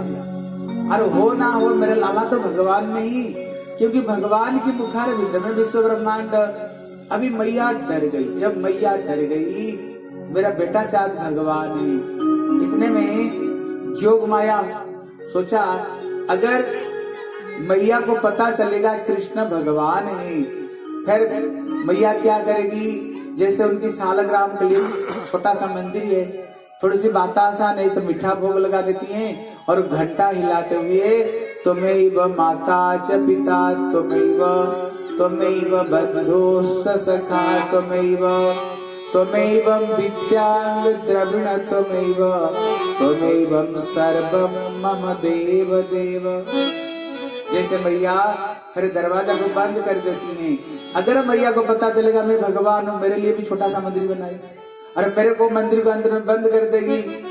फिर मैं जो खेलता कूदता हूँ, फिर मैं कैसे करूँ? अभी जोग माया प्रभु की ये इच्छा जान करके फिर उन्होंने सारे लीलाओं का अंतर ध्यान कर दिया। सारे विश्व ब्रह्मांड अंतर ध्यान हो गया। मैया देखती है, कुछ है नहीं, वो छोटा सा मुँह। और कुछ है नहीं, वो छोटी सी मुँह और कुछ है नहीं। हाँ देखो, यहाँ पर हमारे टीकाकार लोग बहुत अच्छी अच्छी बात बताते हैं। हाँ आप लोग ये बताओ, भगवान मिट्टी खाए थे कि नहीं? आप लोग बोलो, भगवान मिट्टी खाए थे कि नहीं? खाए थे ना? भगवान मिट्टी खाए थे। लेकिन ये भगवान झूठा कैसे बोले, मैंने मिट्टी नहीं खाई? दुनिया बोलेगा, क्या हम झूठ बोलने में दोष है? और ठाकुर जब झूठ बोलते हैं, कोई दोष नहीं। दुनिया यही बोलेगा ना? कृष्ण मिट्टी खा ले और मना कर दिए भैया, मैंने मिट्टी नहीं खाई। है? हाँ। श्री वल्लभाचार्य एक हुए। हमारे वैष्णव संप्रदाय के बहुत बड़े संत हुए। वो कहते हैं, भगवान कभी झूठ नहीं बोलते। क्योंकि भागवत में बताया, सत्यं परम धीमही। वो परम सत्य भगवान है। वो कभी झूठ बोल ही नहीं सकते हैं। पर अभी तो सीधा सफ़ेद झूठ बोल दिए। सफ़ेद झूठ बोल दिए, झूठ कैसे बोले? तब उन्होंने दो उदाहरण दे करके समझाए, भगवान कैसे झूठ नहीं बोले। पहला उदाहरण ये दिए, अगर आप लोग तो संस्कृत पढ़े होंगे ना, फिर ये चीज़ को समझोगे। ये जो शब्द है, बोले ना अहम भक्षित वानम्बो जब ये शब्द को अलग कर देते हैं ना, वो हो जाता है ना अहम मतलब मैं नहीं मिट्टी खाई, ये एक अर्थ होता है। जब उसको संधि कर दो। लेकिन जब उसको संधि नहीं करके एक शब्द रखते हो, वो हो जाता है ना हम ये ना हम का परिचय वाची में इसका एक अर्थ होता है ब्रह्मांड। बोले, मैया, तुम मिट्टी का बात क्या करते हो? विश्व ब्रह्मांड को मैंने खा करके रखा। तेरे को विश्वास नहीं हो रही ना? देख। तब तो उन्होंने मुँह खोले और विश्व ब्रह्मांड को दिखा दिया। एक अर्थ। दूसरा अर्थ है कहते, खाना किसे कहते हैं? जब हमसे कोई चीज़ अलग हो, जैसे यहाँ से उठा करके हमने खाए, तब इसको खाना कहते हैं ना। लेकिन कृष्ण ने कहा भैया तू कह रहे मैंने मिट्टी खाई है। कब मैंने मिट्टी खाई? ये दुनिया तो मेरे अंदर में ही है। उन्होंने विश्व ब्रह्मांड को दिखाया देखो, ये सारा दुनिया तो मेरे में ही है। मेरे से थोड़ी कोई अलग चीज़ जो मैं खाया इसलिए मैया, मैंने मिट्टी नहीं खाई। हाँ मैया को उन्होंने प्रमाण कर दिया है। और अभी प्रश्न, भगवान फिर मिट्टी खाए की क्या रहस्य है? बोले, इसलिए प्रभु मिट्टी खाए ये जो ब्रज रज है, ये साधारण वस्तु नहीं। ये ब्रज रज के लिए बड़े बड़े ऋषि, मुनि, जोगी भी तरसते हैं। जब ब्रज में श्री उद्धव जी आए, जब उन्होंने ब्रजवासियों का प्रेम को दर्शन की, देखो उद्धव जी क्या कहते हैं? बोले आशा महो चरण रेणु महंग श्याम वृंदावन कुलमा लतो ये उद्धव जी कह रहे हैं, कहते, क्या मेरा कभी ऐसे सौभाग्य होगा? बोले कौन सा सौभाग्य? बोले ब्रज में तीनों गुलम रूप में मेरा जन्म हो जाए। बोले तीनों गुलम रूप में क्यों जन्म लेना चाहते हो? बोले ब्रज की गोपियाँ जब श्रृंगार करके कृष्ण को साथ में मिलने के लिए जाएगी, तब उनकी चरण धूलि मेरे सर पर पड़ेगा और ये ब्रज रज पा करके मेरे जीवन धन्य हो जाएगा। इसलिए वृंदावन का जो धूल है, वो साधारण वस्तु नहीं। ब्रह्मा भी व्यक्ति यही चाहते हैं। ब्रह्मा कहते हैं, बोले तद भूरी भाग्यम यह जन्म जत गोकुलपि, कथमांग्रिराजो विशेषम ये ब्रह्मा कहते हैं। कहते, भैया, ब्रज में क्या मेरा पत्थर रूप में जन्म हो पाएगा? बोले, क्यों? बोले, वहाँ के छोटे जाति के लोग जब मेरे को पत्थर मान करके मेरे शरीर मेरे शरीर पर चरण रगड़ेंगे, इनकी चरण धूल जब मेरे सर पर पड़ेगा, मेरे जीवन धन्य हो जाएगा. हाँ इधर देखो, हम लोग जो ये तिलक लगाए ना, जानते हो ये तिलक क्या है? हाँ जी, सब भक्त लोग आए थे, मैंने इनको बता रहा था। एक समय श्री नारद जी भगवान से प्रश्न करते हैं। बोले, प्रभु, जगत में तो तेरे बहुत सारी भक्त है। बोले हाँ। बोले, ये सारे भक्तों में सबसे बड़े भक्त कौन है? भगवान बोले, नारद जी, समय आने पर ये बात तेरे को मैं बताऊँगा। एक दिन कृष्ण जान बुझ करके उनने बुखार और सर दर्द लीला किया वसुदेव महाराज वैद्यों को बुलाए, डॉक्टर बुलाए। बोले, भैया, हम तो कुछ कारण नहीं देख पा रहे सर दर्द की बुखार की। इतने में श्री नारद जी आए। बोले, प्रभु, आप क्या लीला कर रहे हो? तेरे नाम लेने पर जीव का सारे भव बंधन खत्म हो जाता है और तुम स्वयं सर दर्द, बुखार का लीला कर रहे हो। ये सही कैसे होएगा? बोले, नारद जी, तब भी सही होगा। अगर कोई मेरे प्रेमी भक्त हो, अपना चरण धूलि मुझे दे दे। अगर ये चरण धूलि से मेरे को स्नान कराया जाएगा तो ये सर दर्द बुखार मेरी सही होगी। बोले, नारद, सारा दुनिया कहते, तुम मेरे परम भगत हो। थोड़ा चरण धूलि दे दो। बोले, राम राम राम राम। प्रभु आपका चरण धूलि देकर मेरे को नर्क भेजना चाहते हो? हाँ नर्क भेजना चाहते हो? बोले, नारद जी, ये द्वारका में तो मेरे बड़े बड़े भक्त हैं। सोलह हज़ार एक सौ आठ पटरानिया, उद्धव सात्वी उनसे थोड़ा ले आओ चरण धुली। अभी जिन जिनियों को पास में गए ना चरण धुली लेने के लिए, भगवान के लिए सबके सब गाली निकाले। बोले, तू कैसे मुँह में ये बात लाए हो? हम अपना चरण धुली प्रभु को देंगे, भगवान नहाएँगे। क्या हमें नरक भेजना चाह रहे हो? वो वापस आ गए।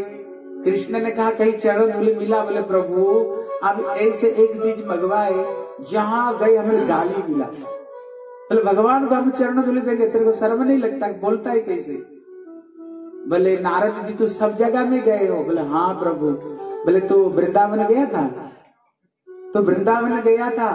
बोले, प्रभु केवल एक जगह मैंने छोड़ दिया। बोले, क्यों? मैंने सोचा, वो सब ग्वालिनिया, कंडा बिनने वाले, दधि मंथन करने वाले, वो क्या भक्ति जानते हैं? बोले, नारद जी, अगर मेरे सही भगत कोई है ना वृंदावन में, एक बार वृंदावन तू जा। जब नारद जी वृंदावन में आए, जितने सारे भक्त थे ना सारे ब्रजवासी इकट्ठे हो गए। बोले, नारद जी, अब कहाँ से आ रहे हो? बोले, द्वारका से। बोले, हमारे लाला कैसे है? हमारे लाला कैसे है? बोले, भैया, उनका सर दर्द बुखार में दवा लेने के लिए आया हूँ। बोले, क्या दवा प्रभु मंगवाए? बोले, अगर मेरे कोई भक्त लोग अपना चरण धुली दे दे, उसमें मेरे को स्नान कराया जाएगा, मेरी सर दर्द बुखार सही होगा। बोले, कोई बोरी भरी लाए हो? कोई बोरी भरी लाए हो? जितने ब्रजवासी थे ना, वो चरण रगड़ रगड़ करके अपना चरण से उन्होंने धूल को इकट्ठे किए और कठली बाँध करके उन्होंने नारद जी के सर पर रख दिए, बोले, ले जा, भगवान को स्नान करा देना। नारद जी पूछे, तुम क्या पागल हो गए हो? तुम्हें पता नहीं कृष्ण कौन है? तुमको पता नहीं कृष्ण भगवान है? और भगवान को चरण धूलि दे रहे हो?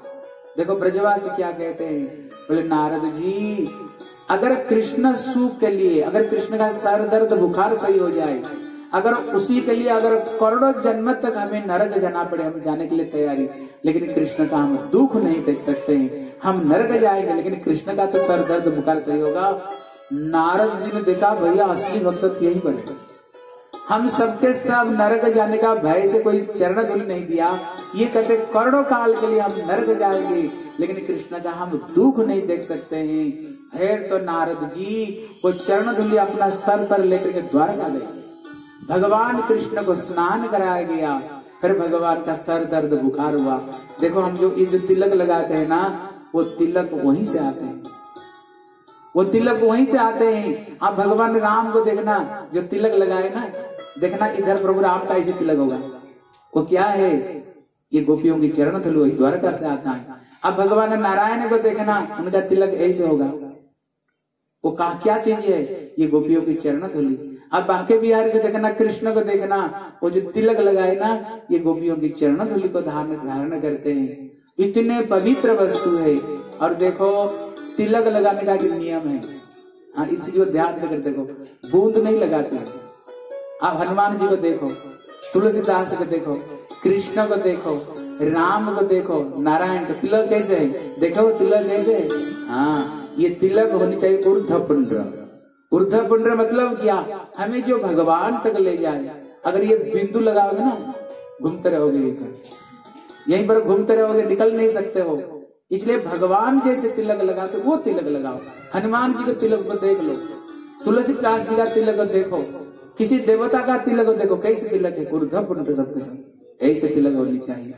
इसलिए ये गोपियों की चरण धुली है। देखो, ये जो दो है ना, ये ठाकुर का दो चरण है। इसका नीचे का भाग देखो, ये जैसे ठाकुर का चरण में तुलसी दल हम देते हैं, देखो इसका नीचे का भाग तुलसी दल जैसे। माने ठाकुर जी के चरण में हमने ये तुलसी दल दिया है। और आज मैंने इसे भक्तों को कुछ लोग हरिनाम लेने के लिए आए थे, इनको हम समझा रहा था। ये तिलक हमारी बात नहीं माँ जसोदा कृष्ण को रोज ये तिलक लगाया करती थी। और जो तिलक है, ये चीज़ अच्छे तरह से समझो। ये जो तिलक है ना, हम एक जगह पर नहीं, हम अपना शरीर में बारह जगह पर तिलक लगाते हैं। यहाँ से, यहाँ यहाँ यहाँ यहाँ यहाँ यहाँ, ऐसे लेकर बारह जगह पर। ये भगवान के बारह का नाम है। ये जो तिलक है, इसका नाम क्या है? ललाट केशवाय नाम। मतलब ये तिलक नहीं, ये भगवान केशव देव का यहाँ पर निवास है। बोले उदर में नारायणाय नम बखे माधवाय नम, कंठे गोविंदाय नम, दक्षिण बार से विष्णवाय नम, मधुसूदन, त्रिविक्रम, बामन धराय ऋषिकेश, दामोदर, पद्मनाभ। कहती ये बारह जगह में भगवान, तिलक रूप में भगवान का निवास हो जाता है। इसलिए पुराण में बताया, जैसे आप तिलक लगाया, ये पुण्य तिलक लगाया। अगर किसी ने तिलक को केवल दर्शन कर लिया, कहते उनको भगवत दर्शन करने का फल मिलता है। जो शरीर में तिलक लगाते हैं, उनको शरीर में दुर्गा, सरस्वती, पार्वती, राधा, लक्ष्मी, इनकी निवास शरीर में होता है। गंगा जमुना सरस्वती सब तीर्थ निवास करते हैं। तिलक की इतने महिमा बताए, इतने भूरी भूरी पहले देखना, आप लोग तो हिंदू है। आप पहले अपना पिताजी के पिताजी को सबको देख रहे हैं पहले सबके सब तिलक लगाते थे तिलक लगाते कि नहीं? तिलक लगाते थे छोटी रखते थे, जनेऊ पहनते थे, गले में कंठी पहनते थे, माला जप करते थे। पहले सब लोग यही काम करते थे, क्योंकि पहले हर व्यक्ति, जो हिंदू व्यक्ति है, हर व्यक्ति घर घर में ठाकुर को पूजा, सेवा, भक्ति, यही काम करते थे सबके सब, है? इसलिए आप लोग भी तिलक लगाना तिलक का बड़ा महत्व है। देखो, आपको मैं एक सही घटना बड़ा सुना रहा हूँ। एक दिल्ली में एक नोएडा स्थान है। वहाँ पर हम कथा करते हैं हमारा एक भक्त है। उसका एक छोटा एक लड़की थी दो साल की। वो वो उसका माता भी तिलक लगाती है और उसने बच्चे को भी तिलक लगा कर रखी थी सवेरे सवेरे। एक बार क्या हुआ वो रहती पाँच मंजिली के ऊपर में वो रहती थी। और उसका जो दरवाज़ा खुला हुआ था वो जो बालकोन में जो था ना वो थोड़ी नीचा था। गैलरी। वो हाँ? गैलरी। गैलरी वो थोड़ी नीचे थी। वो दो साल की लड़की नीचे झाँक रही थी। झांकते झांकते ही वो पाँच मंजिल के ऊपर से वो लड़की गिरी। दो साल की लड़की पाँच मंजिल ऊपर से गिरी। अब बताओ, अगर दो साल की कोई बच्ची पाँच साल मंजिल से गिरे, क्या होगा बताओ? छत्तू हो जाएगी। लेकिन वो शरीर में तिलक लगा कर रखी थी। वो ऊपर से गिरी तो उसको कुछ भी नहीं हुआ। देखो, ये बच्चा यहाँ पर बैठा हुआ, वो वहीं रहता है, ये प्रमाण है। आपका पहाड़ की बच्चा। ये तिलक नहीं, ये कवच का काम करता है। ये कवच का काम करता है। अगर आप तिलक लगा कर जा रहे हो, आज तुम्हारे जीवन में बहुत बड़े कहीं एक्सीडेंट है, लेकिन वो एक्सीडेंट नहीं होगी। क्यों? भगवान तिलक रूप में भगवान तुम्हारे शरीर में निवास करते हैं। नहीं तो ठाकुर क्यों तिलक लगाते? ये कृष्ण क्यों लगाते? नारायण क्यों लगाते? ये राम हनुमान क्यों तिलक लगाते? हैं इतने महिमा ये तिलक की। इसलिए आप सबके सब ये ब्रजरज को देखो उद्धव जैसे व्यक्ति यही चाहता है ब्रह्मा जैसे व्यक्ति यही चाह रहे हैं। शंकर जी को तो वो भी तिलक लगाते हैं, सारा दुनिया तिलक लगाते तिलक की बड़ी महत्व है। बोले श्री वृंदावन बिहारी जय। जय जय श्री श्री जय जय श्री राधे। हाँ मटकी फोड़ने के लिए तो मटकी बाँध दिया ना बच्चों को कुछ बनाया है? बच्चे को बने हैं कुछ बच्चों को? अगर तुमको उनको बना दो अगर बने नहीं तो उनको बना दो। इस दो चार ग्वाल बाल बना दो और कृष्ण हाथ में मटकी फोड़ेंगे। इतने ऊँचा में लगे वो मटकी फोड़ पाएगा बच्चा हाँ? तो। बोलो जय। जय जय। श्री राधे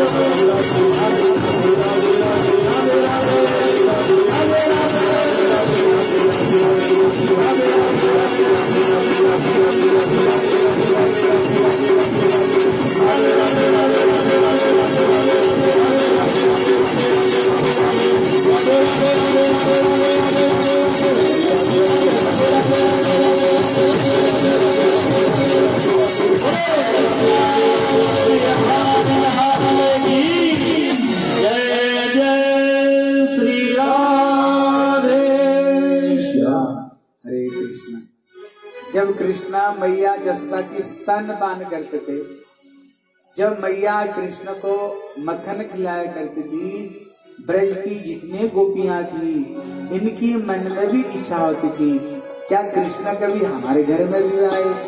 हम भी कृष्ण को गोद में बैठा करके दूध, मक्खन खिलाए उनको। अभी कृष्ण इनकी मन की भावना को समझते हुए एक दिन कृष्ण अपना ग्वाल बालों को बुलाए। बोले, सखाओ, हम एक नया खेल खेलेंगे। बच्चों को नया खेल खेले तो खुश हो जाते हैं। बोले, भैया कौन सा नया खेल है? बोले, हम चोरी करेंगे। बोले, चोरी? गंदी बात। बोले, हम पैसा, रुपया थोड़ी चोरी करेंगे।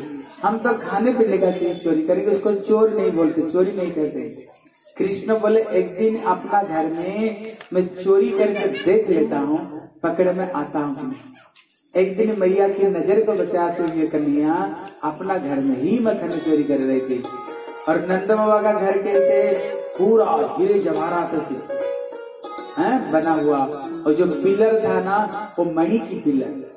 जब कृष्ण मक्खन चोरी कर रहे थे, इनकी परछाई मणि स्तंभ को पर और कृष्ण को ऐसे लगा, अभी कृष्ण का उम्र तीन साल का। अभी उनको पता नहीं, कोई परछाई भी होता है। कृष्ण का परछाई जब पिलर के ऊपर में पड़ा, अंदर में देखा कृष्ण अपना परछाई को, कृष्ण सोचा, मैं जैसे ये मक्खन चोरी कर रहा हूँ, मेरे घर में और भी कोई एक बालक ये भी मक्खन चोरी कर रहा है। और उसने देख लिया, मैंने मक्खन चोरी करते हुए वो मैया को बता नहीं दे। बोले, इसको साथ में मैं दोस्ती बना देता हूँ। बोले, दोस्ती कैसे बनाओगे? बोले, कुछ खिला करेगा और मैं कुछ खा करके। बोले, देख, कृष्ण बोले, तू भी मक्खन खा, मैं भी खाता हूँ, लेकिन मैया को बोलना नहीं। हाँ कहता, चोर चोर मौसरे भाई लेकिन वो परछाई भी वही बोला, तू खा मैं खाता हूँ, मैया को नहीं बोलना। कृष्ण बोला, तू मेरे घर में आकर के मेरे को बोल रहे हो? और परछाई भी वही जवाब दिया, क्योंकि परछाई है अभी कृष्ण जो बोले, वो वही बोले। कृष्ण तो परछाई से झगड़ा करना शुरू कर दी। मैया पास घर में काम कर रही थी। बोले, घर में तो कोई है ही नहीं, झगड़ा किससे कर रहा है? मैया धीरे धीरे आकर के देखा, वो परछाई से ही लड़ाई कर रहा है। बोले, लाला, तू क्या कर रहे हो? किससे लड़ रहे हो? बोले, देखा भैया, मैया भी देख लिया। कृष्ण छलांग लगाए और जो पिलर था ना, उसको ऐसे पकड़ लिया। बोले, मैया मैया, हमारा घर में एक चोर घुस आए हुए बोले, घर में चोर घुस आए और तेरे हाथ में ये मक्खन कहाँ से आया? बोले, भैया, बात सही है। बोले, मैया, तुमने मेरे हाथों में कंगन पहना दी थी ना, वो गर्म हो गया था। मैंने मक्खन में डाल करके ठंडा कर रहा था। बोले, हाथ को ठंडा कर रहा था, तेरे मुँह में मक्खन कहाँ से आया बोले, भैया, ये भी बात सही है। बोले, मैया, मुँह में चिट्ठी जल रहा था वो चिट्ठी को हटाने के लिए गए तो मुँह में मक्खन लग गया। मैया बोले, कन्या तुम मेरा अकेला लाला हो। जो कुछ करता हूँ, तेरे के लिए मैं करता हूँ। सब चोरी करने का क्या ज़रूरत है? कृष्ण बोला, पहला बार चोरी किया तो पकड़ा गया, लगता है ज़िंदगी भर पकड़ में आऊँगा। हैं? ऐसे ही कृष्ण घर घर में मक्खन चोरी करे। एक दिन किसी गोपी के घर में प्रभु गए। वो गोपी मटकी में बड़े सुंदर मक्खन बनाकर रख दी और घर की कोड़े में बैठ कर छुप कर बैठी हुई थी। आज कृष्ण को मैं पकड़ूँगी। कृष्णा पीछे इधर उधर देखे कोई है नहीं। जैसे बिल्ली चाहते हैं ना, ऐसे धीरे धीरे धीरे धीरे अंदर में गए। और उन्होंने मक्खन खाना शुरू कर दिया। जब मक्खन ने खा लिया, गोपी जाकर झट पकड़ ली। बोले, कहा जाओगे? आज तेरे को घर में बाँध करके रखूँगी। ये खंबे के ऊपर हाथ रख। कृष्ण हाथ रखे। वो गोपी अपना चोटी में जो रिबन, उसको निकाले। निकाल करके जब कृष्ण को बांधने के लिए जाए, भगवान का शरीर तो बड़ा मक्खन से भी ज़्यादा कोमल। जो बांधने के लिए जाए, खिसक जाए। कृष्ण बोले, गोपी, तुमने कभी ज़िंदगी में बंधी की नहीं? बोले, नहीं। बोले, जब तक तू स्वयं नहीं बंधी जाओगे, पर दूसरों को बांधो कैसे? बोले, लाला, तेरे को बांधना आता है। बोले, और क्या? बोले, सिखा दे। बोले, रख खबे मैं हाथ, अभी तेरे को मैं सिखाता हूँ। कृष्ण, एक लपेटे, दो लपेटे, एक गांठ, दो गांठ और गुण गांठ। अच्छी तरह से बाँध दी बोले, लाला, तेरे को तो बड़े सुंदर बांधना आता है। बोले, और क्या? मैं तो बड़े बड़े ऋषि, जोगी, भोगी, ज्ञानियों को भी अपना प्रेम में बाँध देता हूँ। बोले, लाला, खोल दे। बोले, गोपी, अभी तक तो मैं किसी को खोलना सिखाई सबको तो प्रेम में बांधना ही सिखाया। मैं तो कभी खोलना सिखाई नहीं। बस अंगूठा दिखाए नौ दो ग्यारह। हो ऐसे ही एक गोपी रोज रोज आकर के मैया से शिकायत करे। बोले, मैया, तेरे लाला घर में मक्खन चोरी करता है। मैया बोले, मेरे घर में कमी है मक्खन की? है? मेरे घर में कमी है। ग्यारह लाख गैया मेरे घर में। आप लोग नंदगांव कहीं गए हो? कौन कौन नंदगांव गए हो? एक, दो, तीन, चार। कौन कौन जाना चाहते हैं बताओ? बताओ कौन कौन जाना चाहते हैं? देखो, अभी हम लोग ऐसे करेंगे, आपको ना धीरे धीरे ले जाएँगे। ठीक है ना? अभी हम अभी हम इधर आए ना, अभी हम ऐसे ऐसे कुछ प्रोग्राम बनाएँगे। जैसे बीच बीच में, जैसे बढ़िया बढ़िया कोई तिथि हो ना, वो तिथियों में आपको यहाँ से धीरे धीरे हम वृंदावन ले जाएँगे, नंदगांव ले जाएँगे, गोवर्धन ले जाएँगे। हैं? गोवर्धन आपको ले जाएँगे। देखो आप वृंदावन जाकर देखोगे, अब तो यहीं पर जन्म हुए हो। वहाँ अमेरिका, लंदन, फ्रांस, हैं? वहाँ पर रसिया, इतने इतने दूर से, इतने इतने दूर से लोग दर्शन करने के लिए आते हैं। महीना महीना, कोई कोई तो अमेरिका के, लंदन के, रसिया के पूरा ब्रजवासी कर रहे हैं। सारे ब्रजवास कर रहे हैं सबके सब। जब उनको, हमारे मंदिर में भी कुछ भक्त लोग आते हैं जब इनकी वीज़ा खत्म हो जाती है ना, जाने का हम सोच नहीं सकते, इतने रोते हैं। बोले, भगवान हमें, ये अमेरिका में क्यों जन्म दिए? ये इंडिया में क्यों जन्म दे दिए? क्यों? उनका वीज़ा खत्म हो सकता है ना? वो रह ही नहीं सकते, उनको जाना ही पड़ेगा। वो रो रो करके जाते हैं। बोले, आप लोग बड़े सौभाग्यवान, जो कि भारत में जन्म हुए हो। समझ रहे हो? इसलिए भारत भूमि ये पुण्य भूमि है। इससे बड़ा पुण्य भूमि जगत में कोई नहीं। आप लोग तो उत्तरांचल के देव स्थान भी जन्म हुए हो कोशिश करनी चाहिए ब्रज में जाने के लिए। अभी देखा है ना, ब्रह्मा, शंकर, उद्धव, नारद भी वहाँ जन्म लेने के लिए प्रवेश के लिए तरसते हैं। ऐसे ब्रज भूमि हाँ एक बात बता देता हूँ।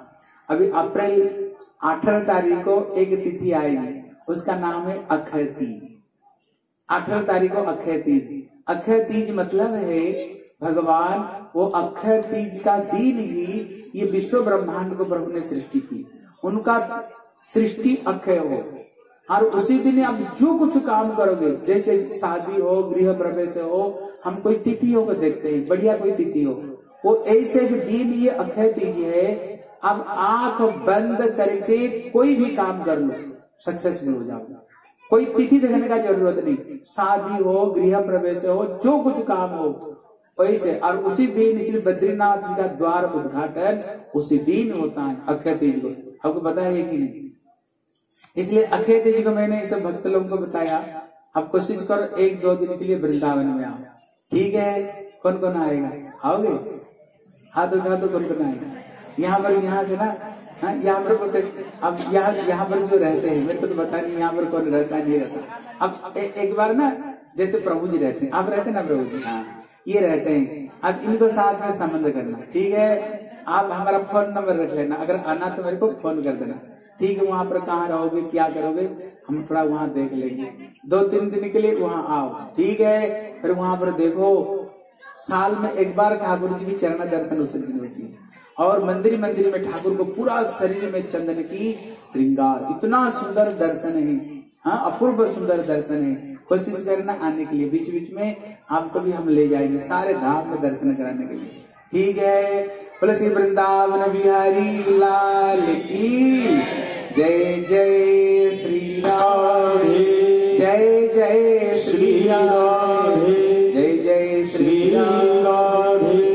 इसलिए मैया जसोदा कहती है, मेरे घर में क्या मक्खन, दूध, दही की कमी? और मेरे लाला तेरे घर में जाता है?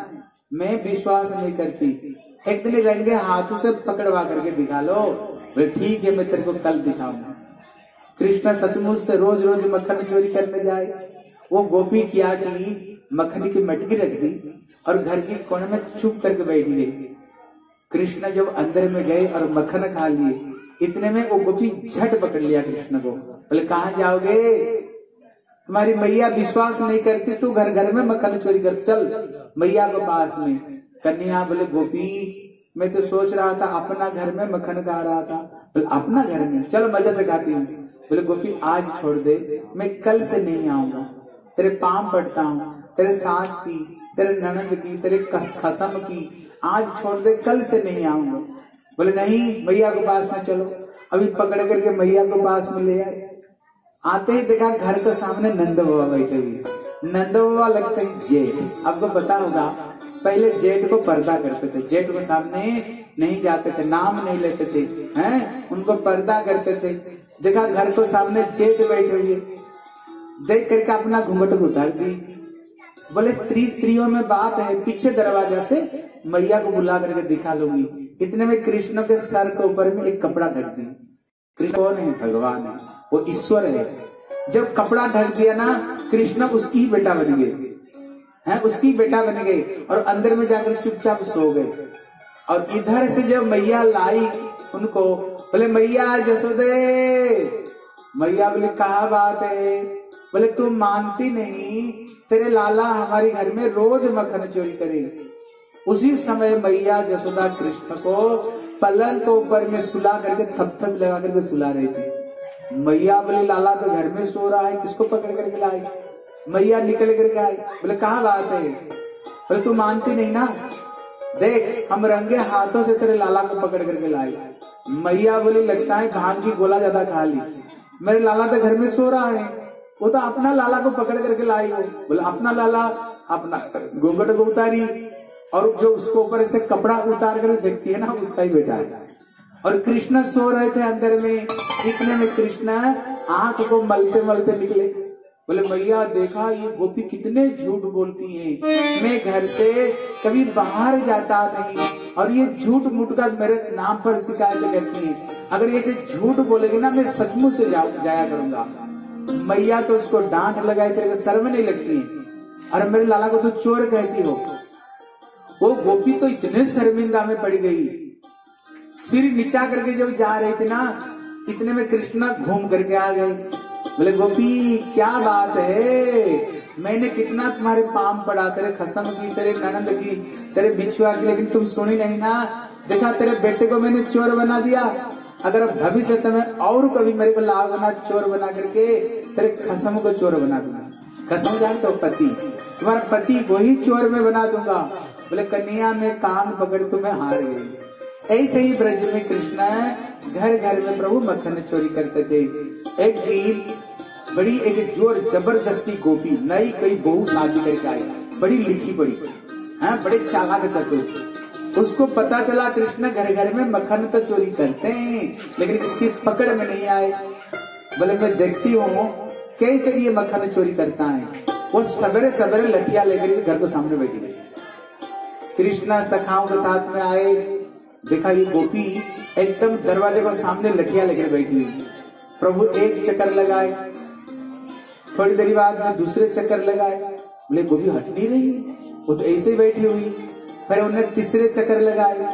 इतने में गोपी बोली कन्या आज दाल गलने वाले नहीं, आज मैं बैठी हूँ। मक्खन कैसे चोरी करोगे? कृष्ण बोले, मैं तो किसी शुभ काम में जा रहा था, तुमने मेरे को टोक दी। बोले, तेरे सारे नाड़ी नक्षत्र में जानती हूँ। तू कहा, क्यों, किधर जाती हो? खबरदार अगर फिर इधर आया ना पकड़ करके सीधा मैया को पास में ले चलूँगी। कृष्ण तो डर गए। दूसरे दिन वो गली में ही आना छोड़ दिए। लेकिन ये गोपियों को, कृष्ण को देखे बगैर चैन कहाँ पड़ती है? एक प्रहर हो गया, दो प्रहर हो गया, तीन प्रहर हो गया। वो मक्खन चोर का मुख दर्शन नहीं मिले। गोपियाँ तो तड़फड़ाने लग गई। आज सारा दिन कृष्ण दर्शन नहीं हुआ। ये गोपियाँ ना झुंड के झुंड बना बना करके सिद्धा मैया के घर में आ गई। देखो, ये गोपियाँ घर में क्यों आती हैं? कारण है, कृष्ण को तो एक बार वहाँ दर्शन कर लिया, मन को आनंद मिला। लेकिन कृष्ण जब चले जाते हैं ना, फिर तो तड़फड़ाने लगती है। कृष्ण दर्शन के बगैर, वो कुछ ना कुछ बहाना बना करके आती है कृष्ण दर्शन के लिए। गोपियाँ आकर के मैया को शिकायत कर रही हैं, बोले, मैया, हमको लगता है ये वृंदावन छोड़ करके और किसी गाँव में जाना पड़ेगा। बोले, क्यों? क्या बात है? बोले, तेरे लाला, हमारे घर में मक्खन चोरी करता है। मैया बोली, एक काम करो, मेरे लाला अंधकार को बहुत डरता है। अंधकार में रख लो, फिर मक्खन नहीं चोरी करेगा। बोले, मैया, हमने सो भी करके देख लिया। बोले फिर बोले, लाला का शरीर में जो अलंकार को तुम धारण कराती हो, वो उसी से ही अपने आप उजला हो जाता है। बोले, अलंकार को उतार दू? बोले, तेरी सौगत हाथ मत लगाओ। बोले, मैया, अलंकार की बात छोड़ दे। तेरे लाला की जो ये नख है ना, ये नख में ही इतना प्रकाश है, उसी से ही ये घर उजाला हो जाता है। इसलिए उपनिषद कहता है, जिसको ज्ञानी लोग ब्रह्म कहते हैं, जिसको ज्ञानी लोग निराकार ब्रह्म कहते हैं, वो ब्रह्म क्या है? बोले, ये भगवान की अंग कांति, ये नख की जो प्रकाश है, यही ब्रह्म है। इतने में मैया बोलती है, एक काम करियो कि जो मक्खन है ना, वो छिके के ऊपर में रख लो। अरे मेरे लाला का हाथ नहीं पहुंचेगा। बोले, मैया, वो भी करके देख लिया। बोले फिर घर में कोई सीढ़ी, नहीं तो कोई जीना बना करके रखे हो। बोले, बनाने का ज़रूरत नहीं। परमात्मा ने तेरे लाला को ऐसे बुद्धि दिया ना ताऊ भैया को नीचे बैठा दे। उधर है उसको ऊपर में मनसुका चढ़ जाए, उसको ऊपर में धनसुका और खुद ऊपर में जा करके मटकी को फोड़ देता। है मटकी को फोड़ देते हैं। मैया बोले, एक काम करियो। मेरे लाला जितने मक्खन खाता है ना, मेरे घर से दो गुना ले जाओ मेरे घर से दो गुना दो गुना करके ले जाओ बोले, मैया, तेरी आशीर्वाद से घर में किसी चीज़ की कमी नहीं। तेरे गोपियाँ कृष्ण दर्शन करके चली जाती एक दिन मैया कृष्ण से बोले बोले, कृष्ण, लगता है तेरी शादी होना बड़ा कठिन है। बोले, मैया, मेरी शादी नहीं होगी सारा दुनिया शादी के लिए पागल बनते हैं। लिखाई पढ़ाई क्यों कर रहे हैं? नौकरी चाकरी क्यों करते हैं? दुकान मकान क्यों करते हैं? वो शादी के लिए सबके सब। अब तू कह रहे मेरी शादी नहीं होगी बोले, बताओ शादी कैसे होगा? पूरा ब्रज में हल्ला हो गया तो मक्खन चोरी करते हो। बताओ, चोर को अपना बेटी को ही देगा? लगता है तू कुआरा का कुआरे रह जाओगे, तेरे शादी वादी कुछ नहीं होगी जब इतना बोले ना, कृष्ण मैया को ऐसे एग्ज़ाम्पल दिया है बोले मैया तो गड़बड़ी हो जाएगी, शादी मेरी नहीं होगी। देखो, क्या एग्ज़ाम्पल कृष्ण देते हैं। बोले मैया मोरी, मैंने माखन खायो। सुन मैया मोरी, मैंने माखन खायो। सुन मैया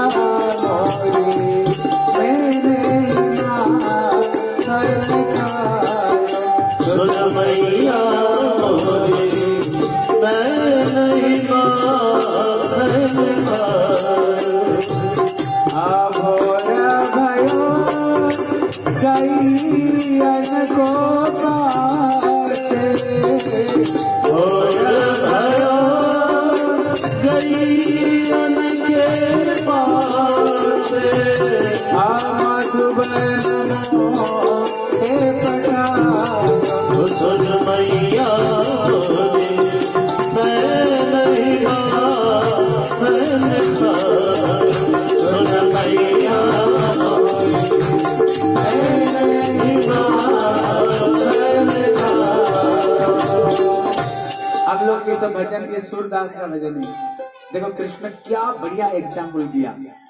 बोले, मैया, ये बताओ, भोर भयो गई, अन्य को पाछे मधुवन मई पठा बोले हाँ। बोले, चार प्रहर बंसी बैठे भेटे को साँझ पड़ घर आए। बोले हाँ। बोले, दिन भर गैया चराया साँझ को आया। और रात भर तेरी गोद में सोया था कि नहीं? बोले हाँ। बोले, दिन भर गैया चराया रात भर तेरी गोद में सोया। फिर मैंने मक्खन चोरी कब की मक्खन चोरी कब की? बोले, ये गोपियाँ सब बताती हैं। बोले, मैया, मैं बालक बही अन्य को छोटो, काहे भी दी छिकी पायो मैंने इतने छोटा बालक तीन साल का उम्र का बच्चा और ये मटकी को ऊपर में छिके में रखते हैं दूध दही। मेरे हाथ कैसे पहुँचा? बोले, तेरे मुँह में जो मक्खन लगा हुआ रहता है। बोले, मैया, ये जो बालक लोग इतने दुष्ट हैं, खूब तो मक्खन खाते हैं, और मेरे मुँह में बराबर सब मुँह लगता है। ज़ोर ज़बरदस्ती मेरे मुँह में मक्खन लगा करके मेरे को चोर बना देते हैं। कृष्ण बोले मैया लगता है मैं तेरे लाला से है ही नहीं। मेरे को किसी ने जन्म देकर कोई फेंक के चला गया था और तुमने वहाँ से उठा करके मेरे को पालना कर रही हो। क्यों? ये दुनिया मेरे को चोर कर रहे हो, तुम भी मेरे को चोर कर रहे हो। लगता है मैं तेरे बालक है नहीं। इतना बोलते ही मैया का हृदय तो एकदम पिघल गया। इतने में मैया कन्या को गोद में भर लेती है। फिर कृष्णा वो शब्द को फिर बदला देते हैं। बोले मैया मोरी, मैंने माखन सुन मैया मैं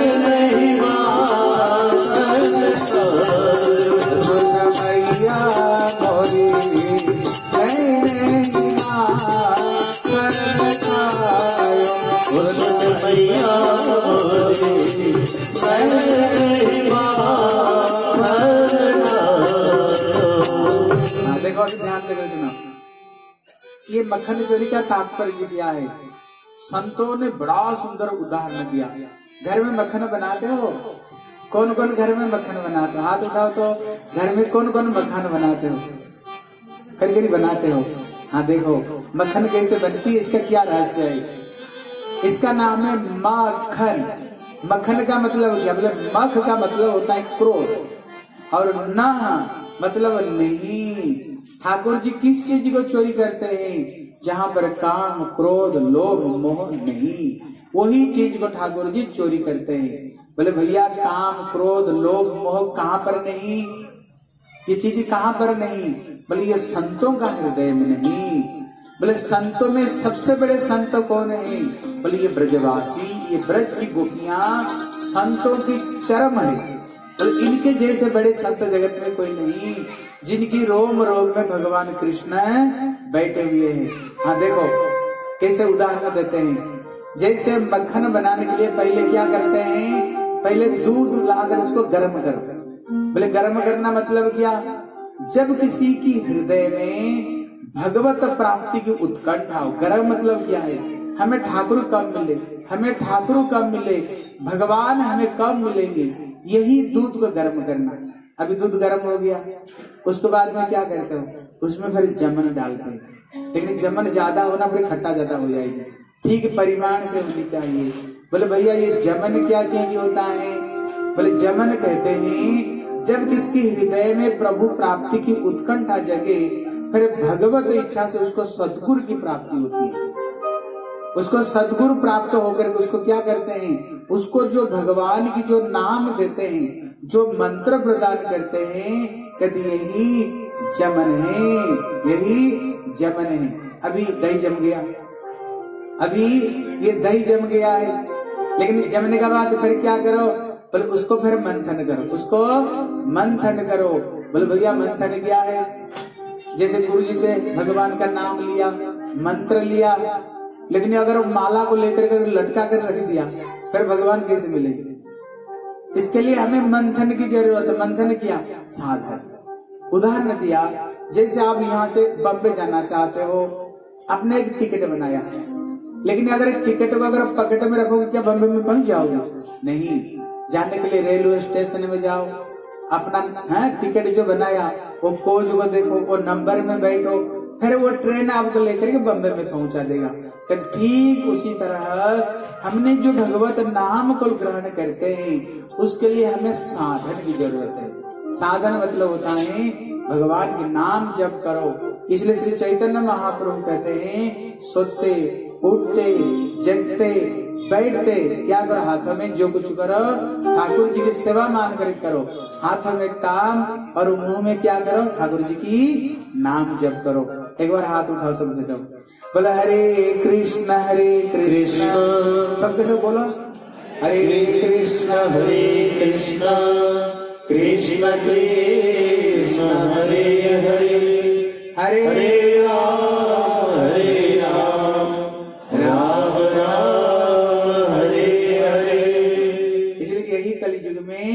सबसे सरल साधन यही है, हैं? इसलिए जब मंथन करोगे क्या निकलेगा? मक्खन। मक्खन, एक तरफ़ में मक्खन और एक तरफ़ में छाछ है। ये मक्खन मतलब क्या? बोले प्रेम। जब हम भगवान की साधन करेंगे, हमारे हृदय में ठाकुर जी का प्रति प्रेम प्रकट होगा। जब प्रेम प्रकट होगा ना, फिर ठाकुर जी स्वयं तुम्हारे घर में आकर के, यहाँ गोपियाँ कृष्ण के पास में नहीं कृष्ण गोपियों के घर में आते हैं क्योंकि इनके हृदय में प्रभु का प्रति प्रेम प्रकट हुआ है। इसलिए जब प्रेम प्रकट होगा फिर कृष्ण आएँगे। इसलिए आकर क्या करेंगे प्रभु जी मक्खन चोरी नहीं उनके हृदय को उनके हृदय को प्रभु चोरी करके ले जाएँगे बोले श्री मक्खन चोर भगवान की जय जय श्री श्री राम।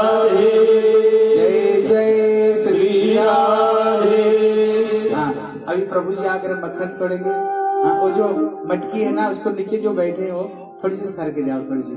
नहीं तो सर पर मटकी गिरी जाएगी। हाँ सर पर ना थोड़ी सी वहाँ सर और तो बच्चों को ले आओ जो ग्वाल बाल बने उनको लेकर के आ जाओ।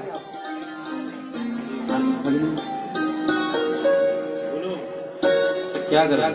मत ले जाते बोलो वृंदावन बिहारी लाल की की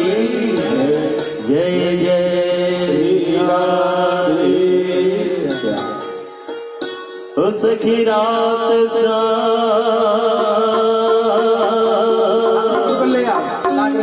सपने आए।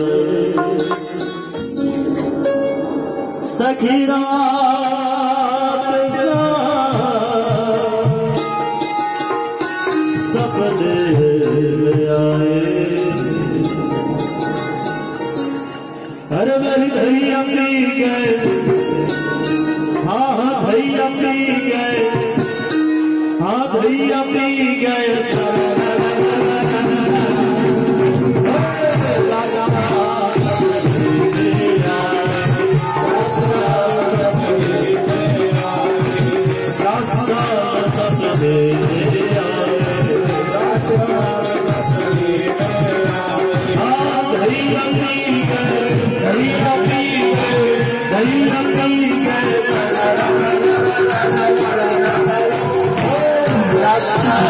Saturday.